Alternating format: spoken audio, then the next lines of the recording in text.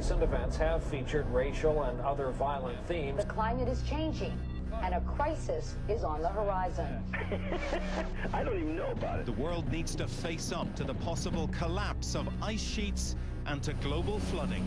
The Republicans lie. They want to see you dead. It is time to call it that this crazy anti-government talk isn't improving anybody's life. The president's message today was uplifting and completely nonpartisan. I want to say personally and directly, I'm sorry.